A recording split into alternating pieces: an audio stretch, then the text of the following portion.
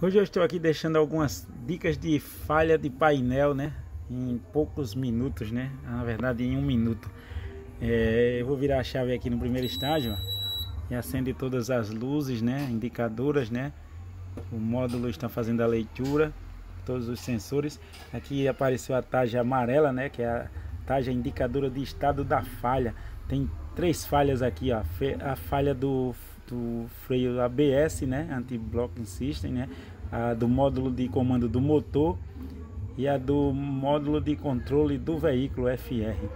Nesse caso aqui, ó, é, as falhas foram corrigidas, porém não foram eliminadas da, do computador de bordo, né?